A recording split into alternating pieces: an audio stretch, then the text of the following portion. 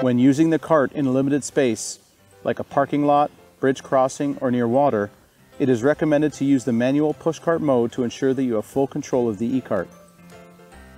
To engage the manual push mode, you can either turn off the cart or press the lock button on the remote twice. The follow mode relies on the straight connection between the remote control and the e-cart. If you make a sudden change in direction or a sharp turn, the e-cart will find the shortest distance to connect with the remote control.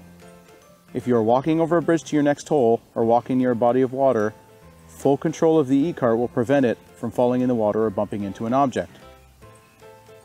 Please do not use a high pressure cleaning machine or hose to clean the e-cart. A simple wipe with a towel is enough to keep the e-cart clean of any dirt, grass, or mud. Please ensure that there is no excess mud or dirt that accumulates on the folding track of the cart. The main folding track is to be kept clean and well lubricated. When it rains heavily, please protect the e-cart and try to cover it with an umbrella using the umbrella holder. Do not turn off the e-cart while pushing the e-cart. Otherwise, it will show the tool icon as a warning.